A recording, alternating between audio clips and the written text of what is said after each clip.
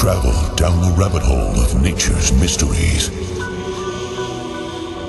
Enter the world of the shaman. Get in balance with nature. Reach a higher state of consciousness. Experience the infinite potential of the nature of our mind.